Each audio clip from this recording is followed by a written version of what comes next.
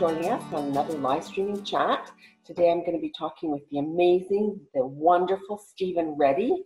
And uh, Steven uh, will take your questions. He's going to answer questions and he's going to do a demo, which is going to be really exciting. Um, so I'll just read you a little bit about Steven's bio in case you're unfamiliar with Steven. Steven Reddy currently teaches drawing and illustration at Gage Academy in Seattle. And he's an active member of Urban Sketchers for many years. Um, and he's published several illustrated memoirs. So uh, his first book was called Everyday Sketching and Drawing. And uh, since then, he's also um, published uh, an illustrated memoir in 2015 called Now Where Was I? And also in 2015, uh, this was that this was then, that was now. And in 2017, Perfect World. And in 2018, oh, I guess I have the wrong order. This one came out in 2018, Everyday Sketching and Drawing. And in 2019, another one called About a Year. And in this year, he just recently, in the last month, I think, he's um, published another one called Yeep, Leap Year Journal. So, uh, welcome, Steven. Let's see if we can get you in the call. There he is. Hi, Steven. Hello, everybody. Uh, I want to thank Brenda for inviting me to this. As a teacher, uh, not being able to have students in front of me and go to my classes, uh, it's been very isolating. So I'm thrilled to be able to share my, my passion for uh, sketchbook journaling. Thank you. So I'm really excited that you agreed to chat with us. And oh my gosh, you you are a prolific writer and illustrator. I can't believe you just are just these are just come pouring off at the end of your pen. Well, since I draw every day, it seems like about once a year I've accumulated enough drawings to uh, put into a book. And so it's been about a book a year. Yeah, that's crazy. Well, I, I hope that you'll tell us about your books um, as we go along. Did you want to talk about your books first? Or you want to look at some of your sketches first? Uh, well, I think it'll be easier to just kind of annotate the slides as we go through. But I do want to say that the purpose of this chat is I have a, a very strong passion for journaling, for uh, personal memoir, uh, illustrated memoirs. And my impetus for getting started goes all the way back to high school when a friend of mine lent me his person, basically his diary, but it was all illustrated and it had clippings from plays that he was in and cards that people had given him and uh, his own drawings. And it was just so inspiring and it was so such an intimate act for him to hand me his personal uh, journal that uh, I immediately went out and bought my own, and I've been journaling every day since. And so, uh, you know, I have kind of a selfish reason for promoting sketchbook journaling is I want to look at everybody else's journals. So when I go to a bookstore, some of the books that are the most interesting to me are not the edited and and fine-tuned finished versions of books but the the you know the personal books that weren't really meant for mass consumption but that's where you get the nitty gritty and you get to see the real thoughts and ideas of the artist. Uh, and that's where that's what gets me excited. And so that's what i try to share in my books is not just finished drawings but the the thoughts and the ideas and the stages that lead up to those drawings. Cool. That's really exciting. So steven do you have um, other uh, urban sketchers or artists that are particularly inspirational for you? Sure. Uh, Lapin uh, is an a, artist who is very prolific, very similar to me in that he's uh, constantly self-publishing, sometimes professionally publishing uh, his work. Um, and he's very active on Urban Sketchers. Paul Heaston, a lot of you are probably familiar with his work. Uh, I got to know Paul through Craftsy when I uh, went down to Denver to record my two Craftsy classes. Uh, he's also a very prolific uh, sketchbooker and uh, hatching artist, which I do yeah. some hatching as well in my work. Um, Tommy Kane, I really like Tommy Kane's work. I've uh, had the opportunity to sketch with him several times. He and Gabi Campanario and I have met with the Urban Sketchers here in Seattle. Uh, and so it's really fun for the same reason that I'm interested in people's personal sketchbook journals to be able to sit with other artists and look over their shoulder while they're working, or even afterwards, we might go to a coffee shop and flip through each other's sketchbooks. And that's really exciting too to be able to see the actual uh, thing and hold it in your hands. It's really cool when you can hold someone else's sketchbook in your hands and you just, oh, yeah. It's like, you know, you feel like this, this is so valuable. You're, you're like, oh, I don't want to, got to go wash my hands and make sure. Yeah, well, the first thing I do when I finish a drawing is uh, do a very high resolution scan uh, so that if anything were to happen to the sketchbooks, and often people, like I'm drawing houses in my neighborhood now, and people will contact me and say, hey, that's my house, can I buy that sketch? Yeah. Then I don't have to worry about a future publication because I've already got a nice quality scan of it, so I can go ahead and give them the original. Yeah. Cool. All right. Well, let's uh, have a look at your sketches. I'm really Sure. excited to be showing them. Uh, And if I tend to go on and on, just cut me off because I am very passionate about it and I have a lot to say. And, and I've been teaching my classes for a while, so I've kind of got uh, a memory of the, the points that I like to make. So just scoot me along if you need to. Okay, all right. All right, I'm excited. Oh my goodness. Have a look at this, you guys. Is that amazing? Gorgeous sketch.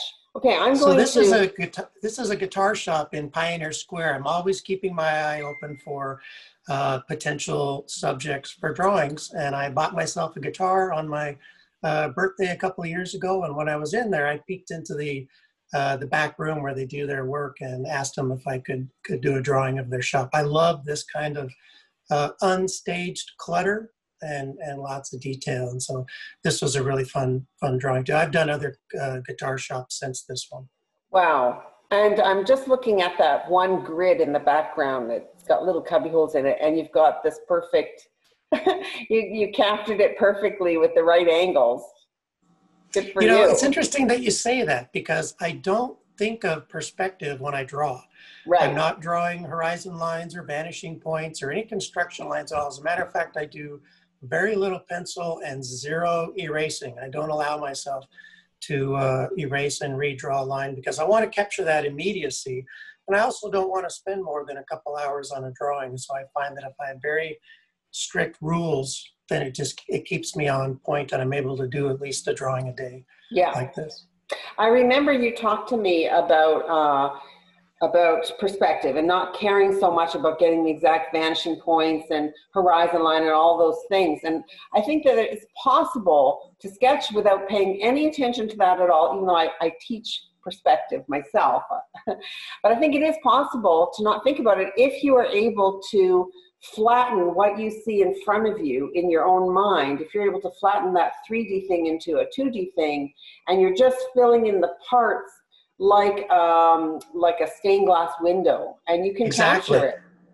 Now, I do I do understand perspective and I, I understand how it works. So I may be subconsciously applying some of those rules, but you're absolutely right. The old masters sometimes would create a frame and then put a screen in it so you have the little squares, and then you could see your scene as a 2D image, then just transfer it one square at a time to the paper.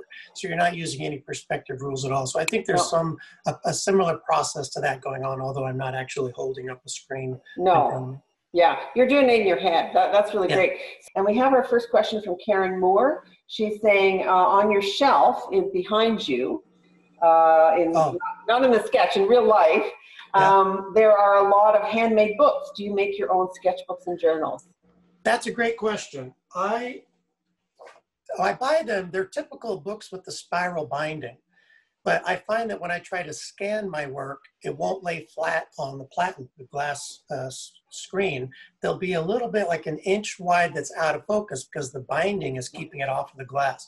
So the first thing I do when I buy a sketchbook is just literally pull that off. It's not a literal spiral, so you don't have to unwind it. You can just pull it right off, and then I replace it with these one inch bindery rings and that makes it really easy to sort my work. I can pull a page out without tearing the perforations, uh, scan it flat in the scanner, and then put it back. It also lets me organize my books. I've got some that are all still lifes, some that are graphic novel uh, entries, uh, interiors, exteriors. You can organize your sketchbooks however you like if you just get rid of that spiral binding. Great question. Wow, that is a good question.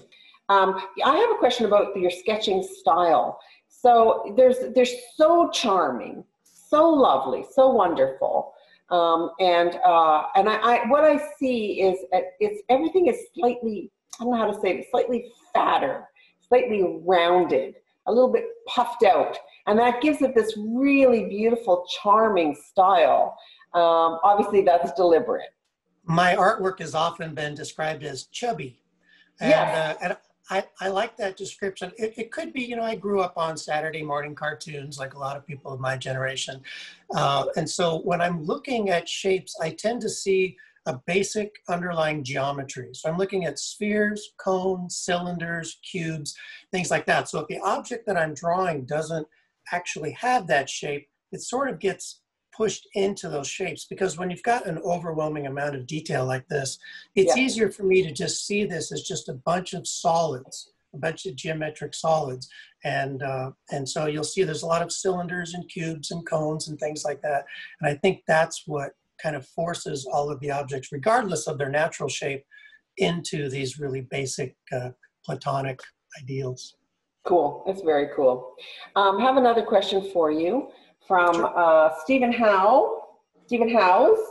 And Stephen is asking, uh, do you complete the whole image on location or finish in the studio like Tom, Tommy Kane sometimes does? Yeah, actually, Gabi, most of us do this because uh, we're limited by time, and also it can be unwieldy on location to manage watercolors and brushes and water for rinsing. And so, very often the color is done at home.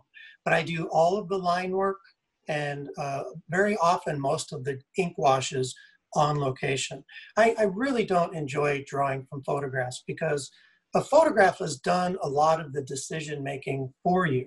It's already framed your scene, it's already flattened everything out. Sometimes things will be in shadow and it just gets so dark you can't really see what's going on in there. But in real life, your pupils will dilate and, and expand to let in more light. And you can actually go up to objects, handle them, look around to see how things are constructed. It's just much, and also sketching for me is about being present in the moment in a certain location. I do not like sitting in front of a computer all day long. And so the whole point for me uh, behind urban sketching is to get out of the apartment, to get out into my environment. And so, uh, great question. All of the line work and most of the ink washers are done on location, but just for convenience, I will uh, do the color uh, at home. Unless I'm teaching a class and I'm doing a demo where people want to see it by then I will do the whole thing uh, on the scene. Cool. And another question for you from Karen Moore again. What, um, uh, what kind of sketchbooks do you prefer? Oh, well, I use all kinds. If I'm on the bus or if I'm going to be in a coffee shop, I can use a really small uh, sketchbook like this. This is my my bus book, which literally is what I sketch on the bus when I'm commuting. But my preferred sketchbook is the one I showed earlier. It's the Canson, my, it's kind of obscured by stickers, but it's the Canson Montval 9 by 12 field book or art book. Uh, I like these because the paper is a combination of watercolor paper, which can be too fibrous if you're trying, it's not designed to be drawn with a, a ballpoint pen, which is what I use. Um, and so it can pull up the fibers and your pen can kind of stutter across the surface. But Bristol paper is not absorbent enough for the several layers of ink wash and watercolor. So this Canson Montval is a really nice hybrid, kind of a cross between watercolor and drawing paper.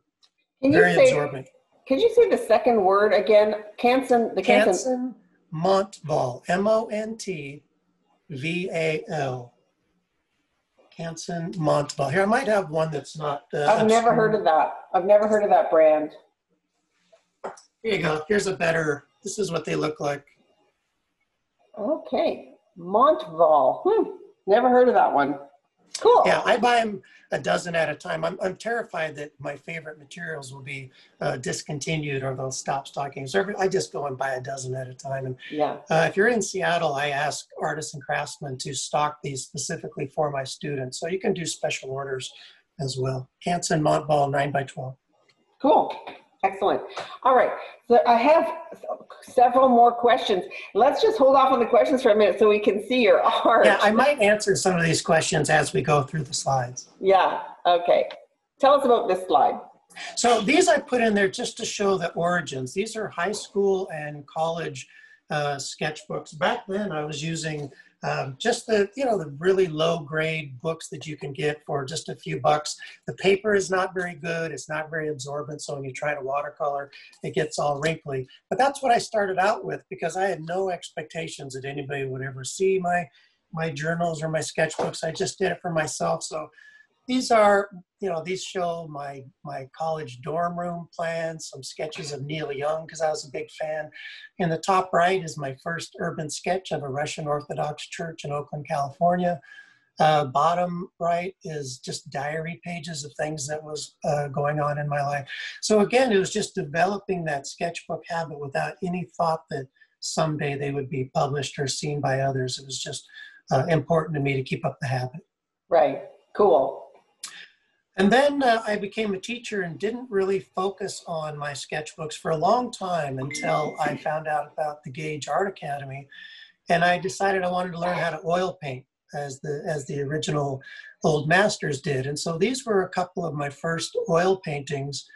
Um, the one on the right is called A Day in the Life. It just shows my shower in the morning and my hot cup of cocoa and my car and sketching and my breakfast and, and things like that.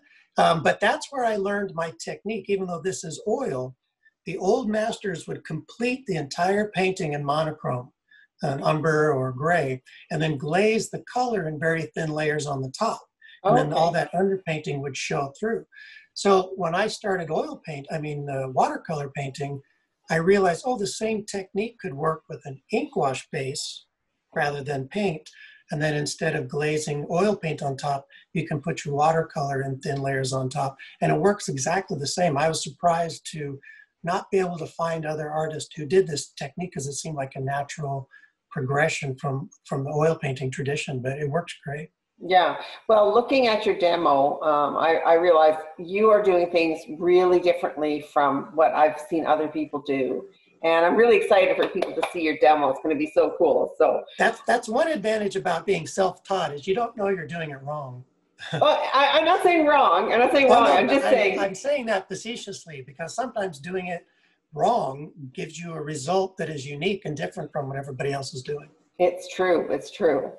Cool. Well, I mentioned that I became a teacher when my son was born. I got very into uh, uh, early childhood development and I took some classes and I just realized, oh, I think uh, teaching might suit me. And so this is the school uh, where I had my own fourth and fifth grade classroom for 13 years. Wow. Cool. Very cool. All right. Let's ask a question here. Um, um, Sue now says, she says that she has several of your books and she took your arts, uh, artsy class um, she, she wants to know if you use prompts or other things to help you get to help you get through your idea slumps when you're keeping a daily journal, especially in our quarantine times when we are isolated. That's a terrific question. As a matter of fact, I just started teaching a class at the Gage. It was all about keeping up the sketchbook habit. It wasn't really a technique class. And that goes right to the heart of what I'm passionate about is you're always somewhere if you open your eyes, there's something in front of you. You might think, oh, that's not going to make a very interesting drawing. But the fact that it's a drawing is what makes it interesting. Uh, something I remind my students that you can't improve on Mother Nature. So I'm not going to spend a lot of time drawing landscapes and flower arrangements and things like that because I, I can't do them justice. But I can take a pile of clutter on my desk or you know the mess over by the laundry uh, hamper or you know just looking out my window there's always something in front of you. And if you think about the drawing process as about as a process rather than coming up with a finished beautiful work of art then there's really nothing to stop you from drawing. I might open the newspaper and draw from the obituary uh, photographs. I might draw a comic diary of a memory that i had or illustrate a dream or go through my old sketchbooks and redraw a scene that now that I've had some experience, I might think, oh, I could do that better now. Um, just flipping through old photographs. I've got a shoebox of old photos that sometimes I'll pull out.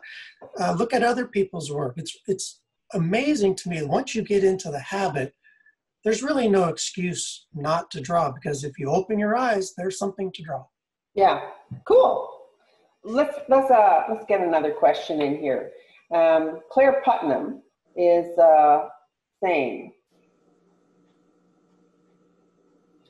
how long does it take you to complete a sketch like the one that just you, we just showed of that very busy shop? And um, she also says uh, that you said that you never use pencils or erasers, but she's she's guessing that you did when you were a beginner artist. Oh yes, of course. Um, Yeah, and probably the reason I can do very little pencil now is because I'm kind of doing that layer in, in my mind as I'm inking. Because the thing is, drawing with ink, I can't erase.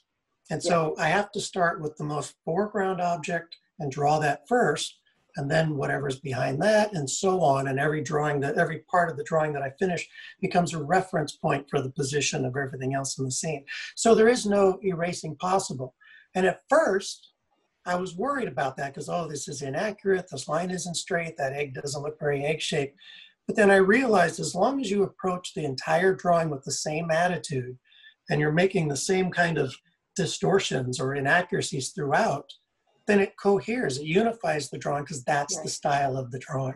Yeah. I don't try to cultivate a style. I just draw quickly with ink and that's what I get. Yeah. And, and of course, the more you do it, the more um, the more refined your work looks because you you know you develop a, a technique or a habit. Yeah. I'm not sure if you answered the first part of the question was how long oh. did it take you to complete that oh. sketch of the busy shop? Great. Uh, you know i really encourage you to sketch with the urban sketchers. Every every major city and many minor cities have a chapter of the urban sketchers and if you join them they're only going to spend two and a half hours at a location. And yeah. by doing that repeatedly it teaches you to budget your time if I only have two and a half hours, and that's going to give me, uh, you know, a minute or two to do a very quick pencil blocking out, and then I've got maybe 45 minutes for my ink lines. I've got another 45 minutes for my ink washes, and then pretty soon you're out of time, and that's it. And the more you do that, the more you kind of have an intuitive sense of how long you're going to get to spend. So I, I like that two or three hour window. My classes are two or three hours. Now, on a really big drawing like that one you saw at the guitar shop. Um, that was actually on a like a poster size piece of paper. And so that one I did probably spend more like four or five hours on. That's much more detailed and, and more involved than my typical drawings. But I'd say two hours for typical drawing. Yeah. Nine cool. by 12. Yeah, cool. All right, let's have another look here. So this is a second grade classroom. I was a substitute and while the kids went to lunch and lunch recess, I realized I'd have about an hour. And so this one did not go to color. I didn't have time and I didn't have a photo reference later to complete it in color. But a lot of my drawings, I'm satisfied with them at this stage. And so this just shows the, the ink wash. So even if it was to go to color, it would go through this stage. All my color drawings are developed to this level of completion before the color is then glazed on uh, in very thin layers on top. That's but so even cool. here, you can see the basic geometry. If you look, it's just spheres and cubes, the, the cylindrical map hanging on the board in the background. It's really just trying to see a complicated scene as a series of basic structures. And shapes, yeah. Yeah. Cool, yeah. Okay, and here's the steps, the process right. as you add your layers. Right, so you can see I took photos as I went along. The top left is just the contour lines done with a Uniball pen. Top right is the first layer of ink wash that is done not because I'm putting in darks, I'm trying to isolate the highlights. So basically I'm washing everything in the picture except where I see pure white or a shiny reflection or a highlight. So that helps me think of, you know, I want to have a high contrast drawing in the end. And one thing to do that is to make sure that the whites pop out and they, they look shiny and reflective. The second layer at the bottom left is now I'm looking at shadows and dark areas. And then the bottom right, the final layers where I'm really hitting the, the, uh, the shadows and the crevices and the concavities and making sure that those are nice and dark.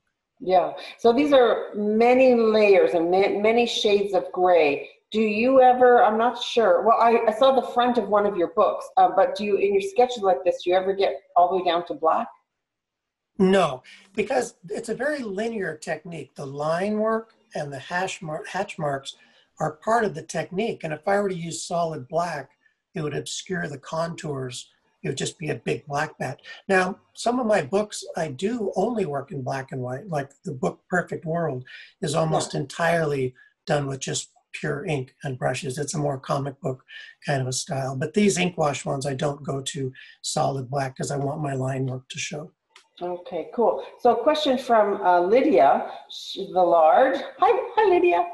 Um, she's asking, um, uh, if you remove pages from your sketchbook, he says, she says, he said he sold a house drawing and kept the scan for himself. So do you remove right. pages from your sketchbook? Yes, and that's the, maybe you came in after I uh, talked about if you replace the spiral binding with these rings, you can take drawings out and you don't have to tear you don't have to tear the perforations here. So I just, if somebody buys the drawing, I just give them the whole thing, and then I assume when they have it framed or matted that they'll cover up the uh, the perforations. It's so smart, such a great idea. Wow, and here's another example, but with the color added.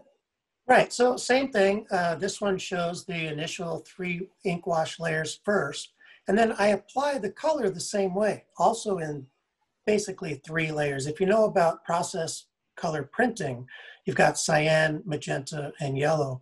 I sort of apply my watercolor layers the same way. So in the top right, you can see it's a layer of my yellows. Bottom left, I've started to put in some reds on the flowers and the chimney, and then some blue on the bottom right. I don't know if you can see it on your screen, but the house in the background, and there's a little bit of a blue tinting to the shadows. So I'm trying as hard as I can to keep this a very structured uh, method. So I do three layers of wash, and then basically three layers of color. I, I really only use the primaries. Uh, my color watercolor set, this is it. And I okay. don't even use all of these colors because I'm really just using the primaries uh, mostly to keep it simple. Yeah. Wow. So it's you're doing it the same. You're doing it exactly the same way every time. Yes. Wow, that's so cool. All right, let's go back to that sketch. And, and I do that because it takes away. I'm not. I don't have to reinvent the wheel each time. I can focus on the scene in front of me and not on, on my technique. Mm-hmm. And so I'm, I'm looking at the sketch and I'm thinking they're probably, you're probably doing a lot of editing as well. Like you're really simplifying and taking a lot of stuff out. Oh, yes. Sometimes uh, if a building has a dozen windows, I might draw eight. Oh, okay. You still get this. I'm not drawing every single brick.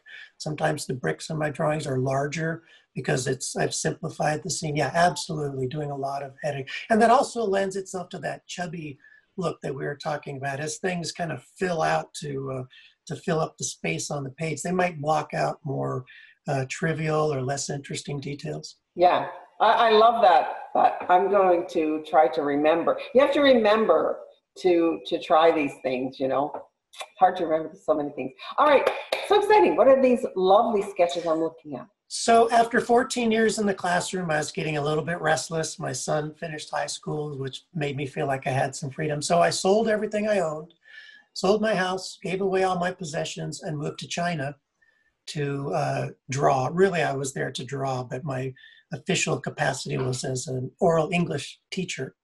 Yeah. So I taught at a college but really I just was looking forward each day to go out and, and draw.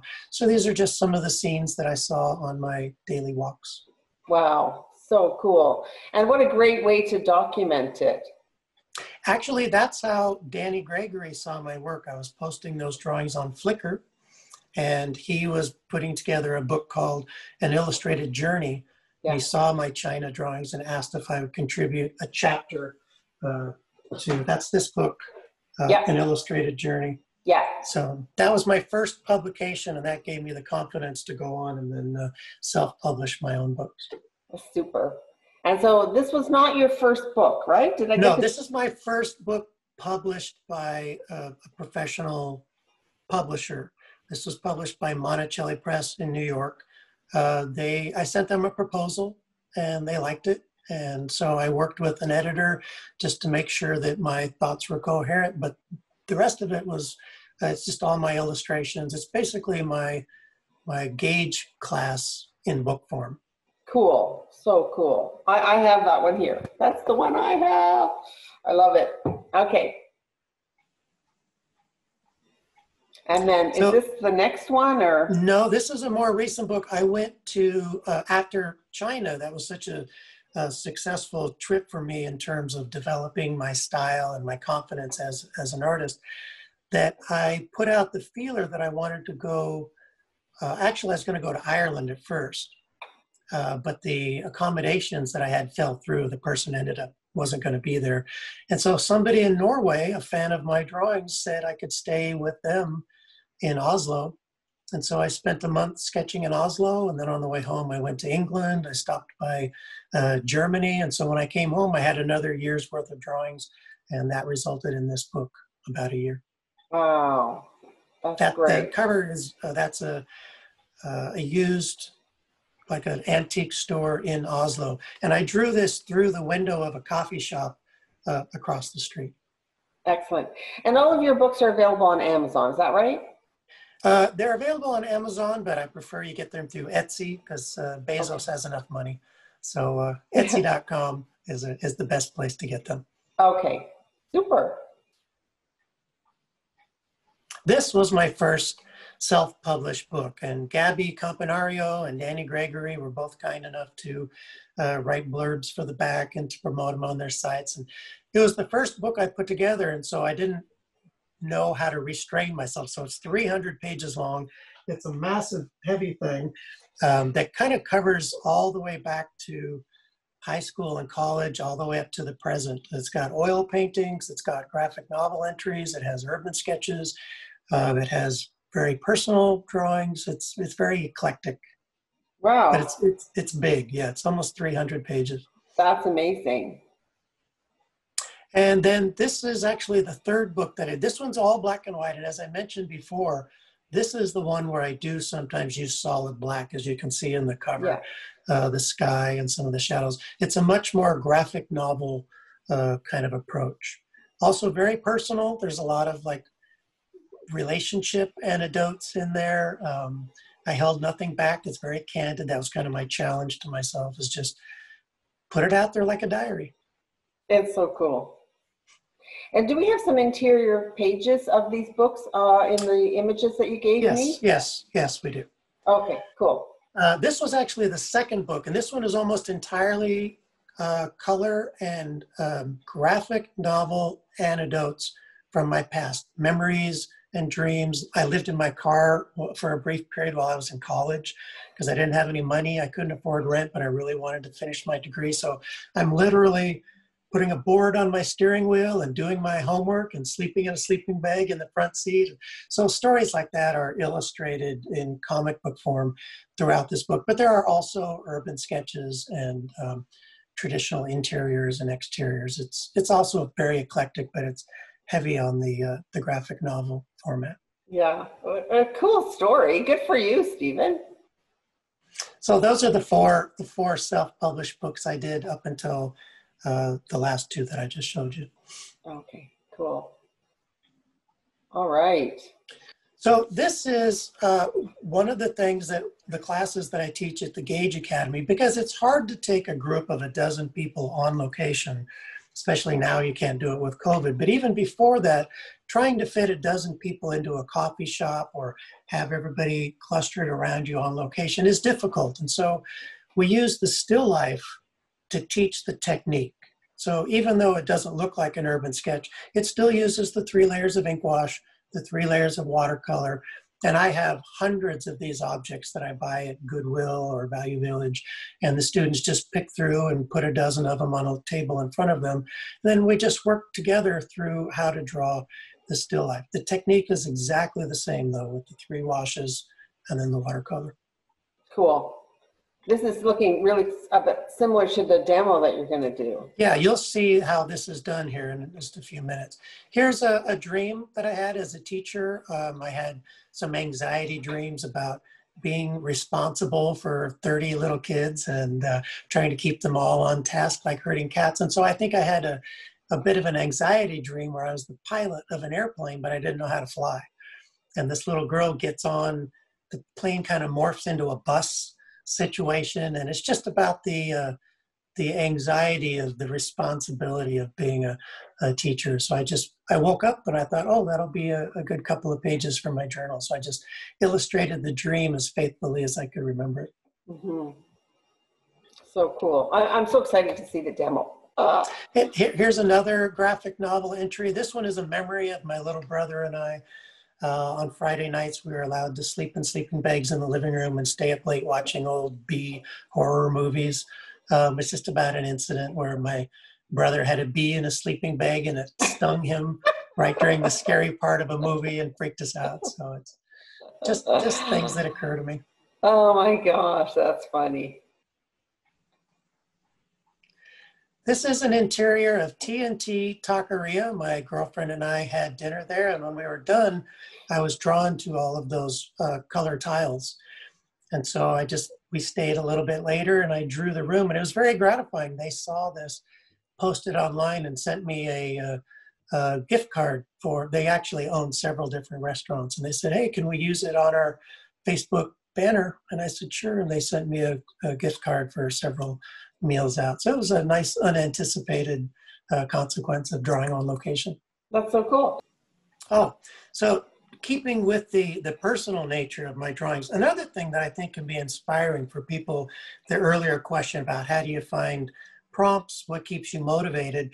Um, again, I just try to keep it as personal as I can. And this is my uh, girlfriend had an operation and so while she was recovering in the hospital, I wanted to uh, sit with her and keep her company. And so um, I would sit there and sketch. This is the room. You can see the geometry clutter in the background that attracted me. And, um, and so it's a nice way to, you know, I can talk and draw at the same time. And I'm fortunate that she is also an artist. And so we will often go out together and uh, sketch and hang out. It's a nice way to spend time with, with the people you love if they're sketchers. That's nice. That's very nice. This is the front and back cover of my latest book. It's called Leap Year Journal because on my birthday in 2019, I challenged myself to complete a full 9 by 12 inch page a day for an entire year. And it was a leap year, so it's 366 drawings. Um, and I just put it out in chronological order. So every day I did a drawing, and that's basically what the book is. This is another big, hefty, almost 300 pages. And the reason it's not 366 pages is because for Inktober, I did half size pages. I did the prompts uh, as half size pages. So it's a little under 300 pages. Um, cool. So this is the book. And as you can see, there's very little white space. It's, each page is very crowded and dense with detail, which to me made the challenge authentic because I did not give myself any shortcuts. There was no escape from. Uh, my girlfriend was very happy when the challenge was over because this was all consuming for about a year. yeah. Wow, it's so it's very polished looking, Steven. And I think you know if you're sketching every day, you're going to start to see that polish in your sketches. Is that true? Yeah, students will often ask me, how do you cultivate a style? And I say, you know, I don't think it's something you should try to do consciously. Just draw, try to capture what you're seeing the way you see it, and you can't help but develop your own unique style. The more you try to cultivate a style, the more uh, maybe pretentious or uh, insincere it starts to look. Just let style find you. Just just draw. Just draw. Everyday draw. Cool. All right. Let's look at another sketch. So this is a, a random uh, inside spread of the book that I just showed you. On the left is more of a just kind of a philosophical rambling. I'm not going to go in too much detail here, but just sometimes you have kind of an abstract thought about you know how the world works or how relationships work and i was just trying to depict it in visual forms and then on the right is a very traditional urban sketch uh, of an interior coffee shop just before uh, covid lockdown yeah, cool. And actually, that reminds me, there is a question, there was a question um, about from Karen Moore. She says, How have you handled sketching during the pandemic? Yeah, well, actually, great segue because the two drawings that you're looking at right now were both done from my car through the windshield. Okay. So I'm still observing social distance. I'm still technically on lockdown, um, but I just found a place I could park and drew what was in front of me. You can see the scene on the left is not something you might think, ooh, look at that picturesque scene. I need to capture that. But it was what was available from my parking spot. And so, again, the goal is not to find a beautiful scene, but to just make an interesting drawing of whatever happens to be in front of you. Yeah, and you know, I think uh, after looking at thousands and thousands of sketches by urban sketchers all around the world, that there's a real range there, isn't there? From people who are just drawing whatever's in front of them to people who have a very polished, um, you know, picturesque kind of style. It's just like a perfect piece of artwork that you would frame and sell in a gallery. And there's like a, a huge range there, isn't there? Absolutely. And I would not, if, again, if anybody listening has not joined an Urban Sketchers outing, I, I cannot stress strongly enough how beneficial that is. You'll see a range of people, some people have never drawn before, sometimes people bring their kids, and then you have trained architects who are there to draw for their own pleasure outside of work. And so yeah. you, you, there's no reason to be intimidated or self-conscious about drawing. Um, there's, there's all ranges, and it's super good practice for teaching you what a two-hour drawing session feels like. That's right. And uh, so thank you. Uh, Kate Buke has just sent a message to me saying that Urban Sketchers has a hashtag for what you call these windshield sketches. And oh, hash- do they? Yeah, and the hashtag is uh, hashtag USK car sketching. Thank you, Kate. Oh, okay. For, thanks, okay. Kate. I call, I call them dashboard sketches, but I'll look for that. By the way, while this picture is up, something you can do that makes your drawing um, more unique and personal to your style is that building on the right was actually horizontal. Okay. So I forced myself to draw it as a vertical composition, which squished everything and made it really tall. And what that did was it pushed me away from trying to feel like I had to be accurate or representational or very specific. It forced me to make it more abstract or more fun or whimsical. So you can do it vice versa. You can take a horizontal scene, draw it as a vertical, and a vertical scene and stretch it out as a horizontal, and you get some really fun distortions like this. I was just thinking that. I was thinking, he has to have squished that. And look how fun it came out. It's just really great. I, I, I love it. You know, it's, it's fantastic. If you think of the edges of your paper as part of the composition, you'll less have these little vignette blobs right in the middle with kind of a not very inter interesting surrounding or maybe something in a corner. If you keep in mind that the pages of your sketchbook are part of the drawing and you try to fill, I think of like bread dough and I'm kneading it into the corners of the bread pan, right? I want the drawing to fill the whole page. And uh, and so I think that makes for, for a more interesting drawing if you've used all the real estate you've got in your sketchbook. Wow, that is a really interesting way of thinking about it. That, that's fantastic. Thank you, Steven, for sharing that. I, I never would have thought of that one. Now, these were done from photographs. As I said, I prefer not to draw from photos, but there's no way to get uh, my girlfriend and I in the same shot without using photos. So I posed and she took pictures of me, and then she posed and I took pictures of her. And then I used maybe three or four photos and collaged them together to have this scene. And I did a series of about maybe eight of these domestic scenes or going for walks or camping or whatever, just to just to memorialize our relationship. That's nice. That's so cute. So that's the that's the bookshelf you can see behind me. Okay, cool. Yeah, Paul Heaston does a lot of domestic scenes as well.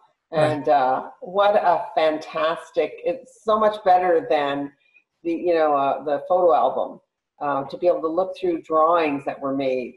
I, I, I love that. I think his kids are going to really love that.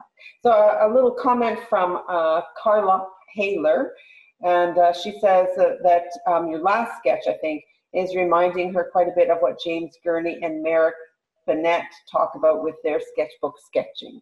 Are you familiar hmm. with those sketchers? I, I'm not. I'll make a note of it and check them out though. Yeah, okay. What were their names? Um, Merrick, it was uh, James Gurney and Merrick Bennett. Okay. And a question, question from Claire Putnam. She says, it must be fascinating to have so many of your life experiences and memories uh, illustrated as opposed to just in your head. I often wonder if my memories are visually accurate or distorted by time, but Steven is lucky he has illustrated his.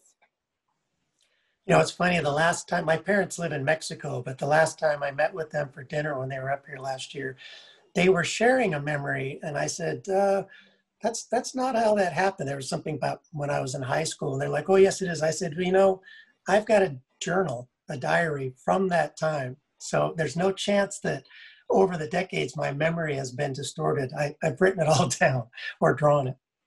There you go. So this is a beautiful sketch right here. Thank you. you this was, uh, oh, we're going to see, this is the one we're going to see yeah. uh, from start to finish. So this is very similar to what we do in my classroom. uh, with the still life objects, and you'll see in a moment how it goes from ink contours to ink washes to watercolor. And I do want to say one thing before you start the, the video, you will see at the beginning me using a pencil. And I can't stress this enough. I'm not doing a drawing. I'm drawing the basic shapes, cylinders, cones, cubes, and spheres to represent where these objects are going to go. And then when I go to ink, I'm not tracing those pencil lines. You'll, see if you can see it, you'll see that sometimes the ink line actually is not even close to where those guide lines were. It's not a drawing. Yes. It's just setting the, oh, there's something here, there's a cylindrical thing here, there's a spherical shape down here, and that's really all it is. If during the drawing process I realize, oh, you know what, I want to move this thing over, then I just move it. I yeah. don't feel beholden to the actual scene in front of me. Okay, so uh, I don't want to interrupt you um, during your demo, so I just want to ask now, what are the actual materials that you're using to create this finished sketch? Again, Urban Sketchers has taught me that I want to be simple and portable. Everything that I want with me fits in my pocket. Uh, my pencils for the opening stage, you can see they don't even have erasers. Yeah. It's just any pencil at all. If I forget a pencil, I can borrow one. No big deal. The pen is the Uniball Vision. This is the workhorse of my technique. It's just a ballpoint. It's not super fancy, but the ink is waterproof.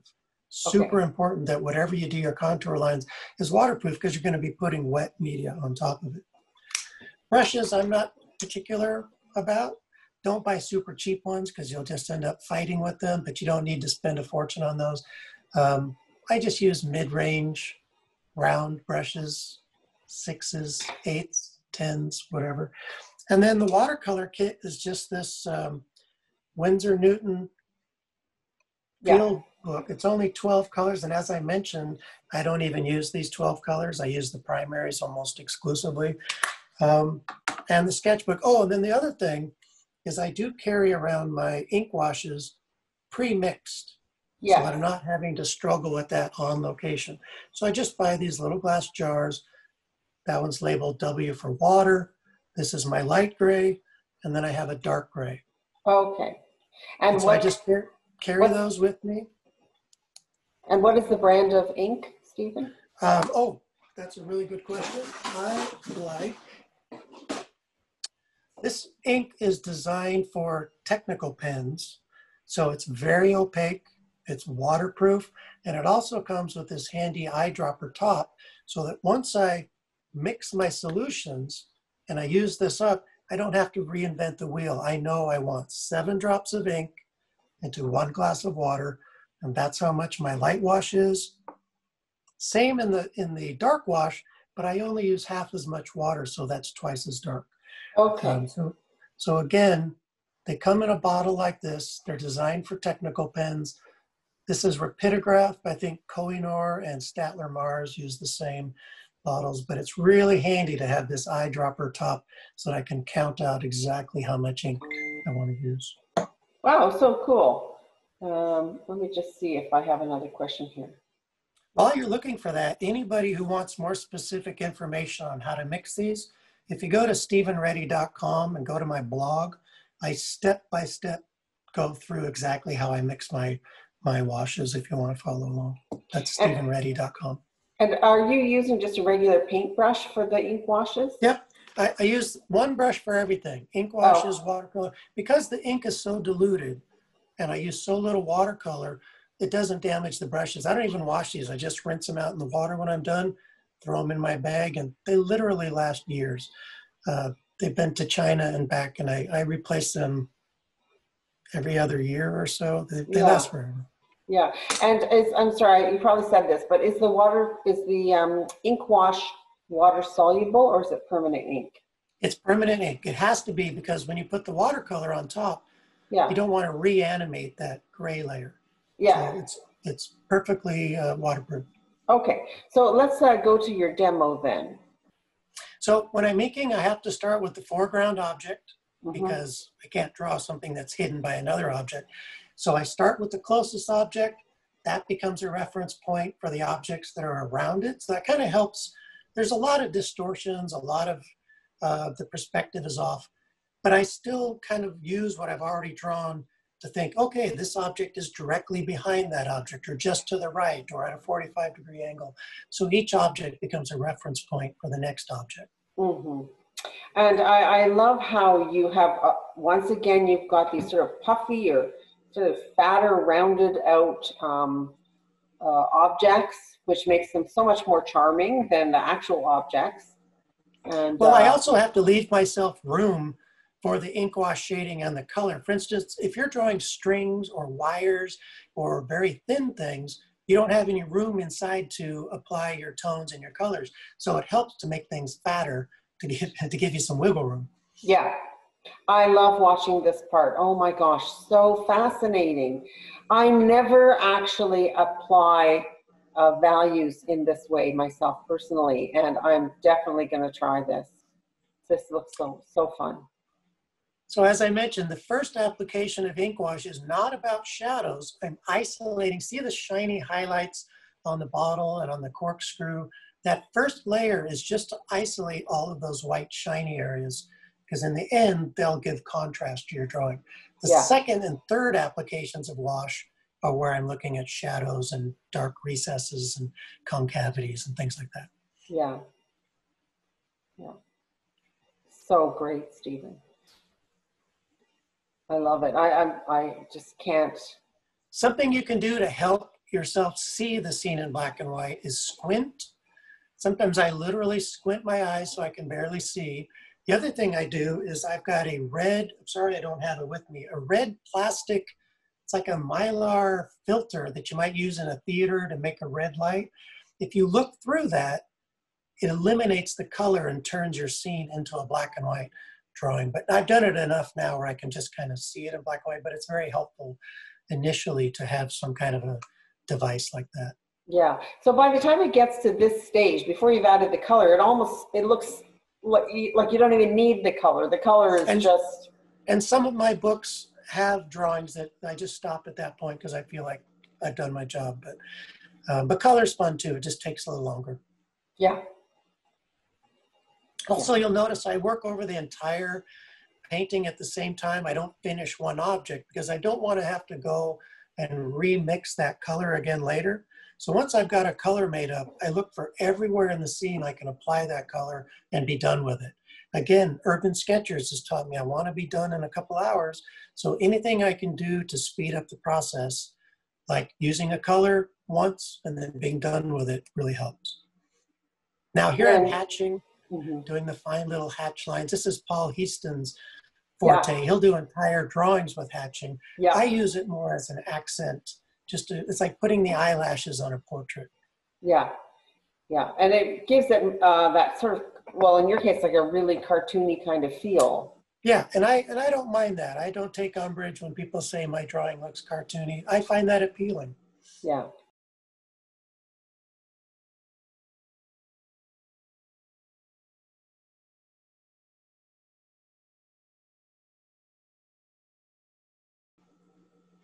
Well, thank you so much. That was just really awesome. I really enjoyed sure. that a lot. I bet. If, if there are any more questions, I'd be happy to answer them. I think uh, as a teacher, I've learned that that's one of the best ways to make sure people are getting the info that they want. If, if you have questions, ask yeah. away. That was fantastic. Um, so uh, people are just saying thank you uh, oh, now sure. for, for, the demo. I'm definitely going to go back and watch that demo again once it gets posted on the Studio 56 for Creatives YouTube channel um, because I think you can really learn a lot when you're watching somebody. You're just watching them do that whole thing. Like, oh my gosh, that was fantastic. I really and I do that. want to remind people that some of my books have. Uh, demos and step-by-step processes. So at Etsy.com is the best way to uh, to find my books. Yeah, and do they look up Steven B. Reddy? Yeah, it's actually Etsy.com slash shop slash Steven Reddy. But if you just go to Etsy.com and search for my name, you'll you'll see it. Okay. Do they need the B in Steven B. Reddy? No. No. And what does the B stand for? That's my middle initial. Barnard. B A R N A R D is my middle initial. Okay. But I thought it, when I was younger, I thought it made a sentence like Johnny Be Good. Steve yeah, yeah, totally. It does. Be easy to remember. it is. Um, so I have a question for you from, um, or just a, just a comment from Carlos that she says, "I love the ink wash to start. I never thought to do it that way before, and neither did I. I I Oh, was good. really blown away when I saw the demo the first time. Great. I hope it helps. So cool. Well, thank you everybody for coming to our live streaming chat today. I have uh, the next live streaming chat is coming up on August 31st. I'm going to be talking to uh, world-renowned watercolorist Hazel Soan, and uh, she's the author of Learn to Paint Quickly and about 15 other books. And she is from London. Um, she's located in Cape Town right now. And thank you, Steven, so much for chatting with us today. Thanks, have any- everybody. Do you have any uh, final comments? Uh, just, I want to encourage people to drop the preconceived notions that your drawing has to look a certain way. It's your drawing. You can't help but make it a personal drawing. Um, the best thing about being self-taught is you're not imitating. You're not going to be lumped in with somebody else whose work looks very much like yours. And just draw every day as if nobody's watching. They say dance like nobody's watching. Draw like nobody's ever going to see. Perfect, perfect, excellent. Really good advice. Thank you, Steven. Thank you so much, everyone. Thanks, Hope you have a wonderful day, and we'll see you soon. Take care. Hey, YouTube buddies. If you enjoyed our live streaming interview and demo with Steven Reddy, please consider subscribing to our YouTube channel. You can do that by clicking on the red subscribe button right here.